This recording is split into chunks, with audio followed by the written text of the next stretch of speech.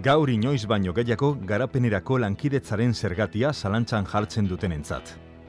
Gure gobernuko agintariak munduko arazoekin inplikatzeko laguntzen duelako, eta errealitate horretan ditugun ardurak gure ganatzeko laguntzen duelako. Mundu hobe baten eraikuntzan inplikatu nahi diren pertsona askoren elkartasun desinteresatua bideratzen laguntzen duelako. Beste realitateak gure gizarteari hurbiltzen dizkiolako. Beti ere, testu inguru horietan gertatzen denaren kausak eta elkar loturak azalduz.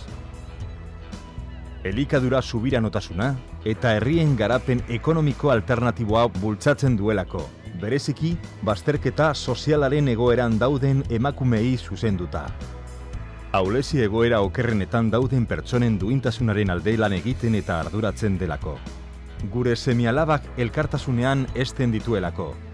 Pertsonaren osoko garapena sustatzen duelako eta ikasgelan formakuntza aberazten duelako. Garapenerako lankidetzak pobreziaren aurkako borrokan aurrerapen garrantzitsuak lortzen ditu. Beste mundu bat posible delako, lankidetza aldarrikatu dezagun.